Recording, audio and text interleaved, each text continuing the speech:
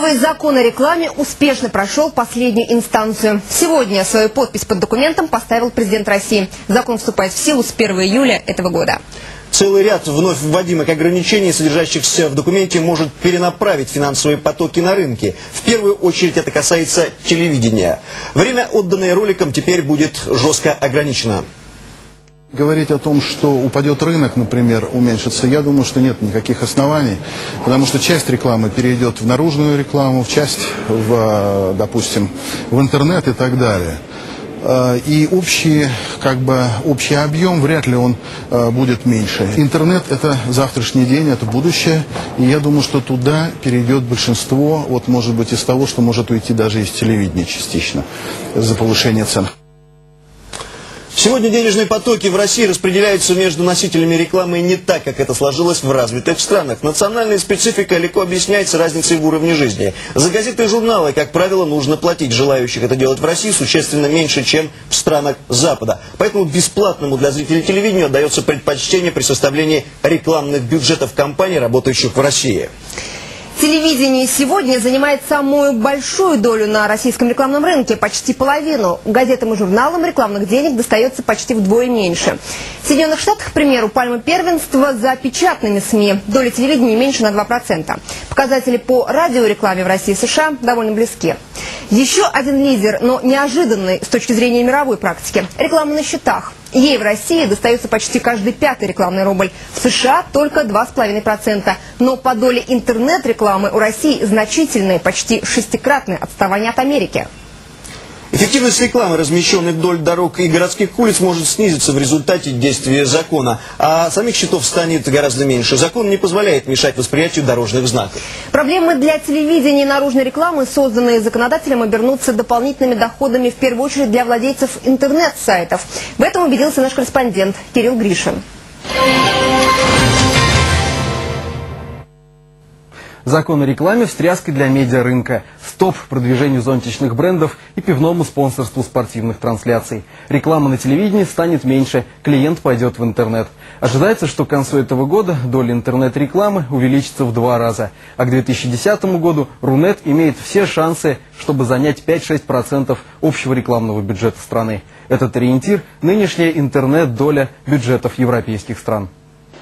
В Рунете сотни тысяч сайтов. Зарабатывают деньги лишь сотни. Такие странички живут за счет рекламы. Способы заявить о себе самые разные. Наиболее раздражающие и выходящие из моды – появление на экране танцующих картинок, так называемый pop-up. От него постепенно отказываются ввиду слабой эффективности. И самый популярный способ – продвижение сайтов в поисковых машинах. То есть мы меняем юзабилити на этих сайтах, мы подсказываем нашим клиентам, как следует изменить контент, каким образом подавать информацию, чтобы человеку было достаточно информации за там, буквально полминуты, минуту, просмотрев сайт нашего клиента, принять решение, иметь дело с этой компанией или не иметь. Раскрутка сайта сейчас на пике популярности. У IT-компаний от клиентов отбоя нет. За полтора года штат компании, в которой работает Михаил Зуев, с 8 сотрудников вырос в 10 раз. Последнее приобретение – покупка готовой дизайнерской студии. Реклама в интернете дорожает. Места на достойных площадках раскуплены на год вперед. А людей, желающих рекламироваться напротив, становится больше. Улучшил ссылочное окружение своего сайта, поработал над его интерфейсом, веб-страничка стала больше соответствовать алгоритмам поисковых машин и начала приносить больше отдачи. Успех – это когда заказчик вводит поисковый запрос, и сайт его компании находится на одном из первых мест в списке выдаваемых ссылок. В отличие от традиционной рекламы, за которую ты заплатил, и она включается тут же, продвижение сайтов в поисковых машинах дело более э, долгое, более длительное, более тяжелое. Там требуется, чтобы а, заказчик очень хорошо взаимодействовал с исполнителем. Классический для интернета набор контекстной рекламы. Цифровая техника, автомобили, страховка, по прогнозам экспертов, теперь пополнится фастмуверами, товарами с быстрой оборачиваемостью. Бытовая техника, косметика, продукты питания.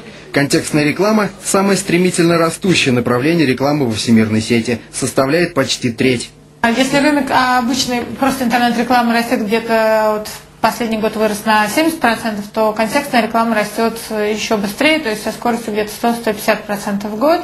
Но это объясняется тем, что, в принципе, рынок еще моложе, чем просто интернет-реклама. Соответственно, растет быстрее, потому что начался недавно. Единственное, чего опасаются некоторые участники рынка, это влияние сетевых агентств на распределение рекламных бюджетов. Если крупный рекламодатель захочет выделить круглую сумму на рекламу в интернете, то агентство вполне в силах отговорить его от виртуальных трат. Переверстка годового бюджета рекламной кампании на это могут пойти далеко не все. Кирилл Гришин, Александр Демидов, Михаил Гуржий, РБК.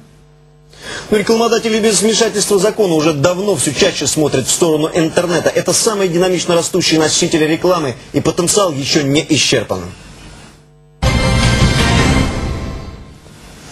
В России доступ в интернет имеет только 6% населения. Среднеевропейский показатель 22%, в США 55%. Но Россия быстро наверстывает отставание. Прошедший год был рекордным по темпам роста рынка интернет. Рекламы прибавка составила 71%, но и в предыдущие годы темпы были почти такие же высокие, около 65%. По сравнению с российским, американский рынок рекламы в сети выглядит вступившим в стадию насыщения. Темпы роста последние три года не более 16%. В результате отставание быстро сокращается. По прогнозу Ассоциации коммуникационных агентств России к 2010 году роль интернета на рынке рекламы в стране будет такой же, какую он играет сегодня в США. Несмотря на то, что в новом законе о рекламе слово «интернет» или «компьютерная сеть» ни разу не упоминается, есть целый ряд положений, касающихся всех видов носителей. В частности, закон регламентирует рекламу финансовых услуг. Не должно быть обещаний будущей доходности вложений, даже если они основаны на реальных показателях в прошлом.